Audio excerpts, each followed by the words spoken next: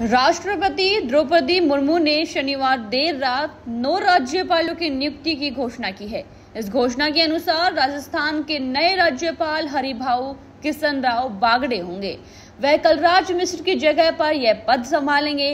राजस्थान के वरिष्ठ भाजपा नेता ओम प्रकाश माथुर को सिक्किम का राज्यपाल नियुक्त किया गया है।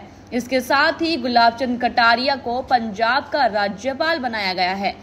कटारिया इससे पहले असम के राज्यपाल थे और अब उन्हें चंडीगढ़ के प्रशासक की अतिरिक्त ज़िम्मेदारी भी सौंपी गई है।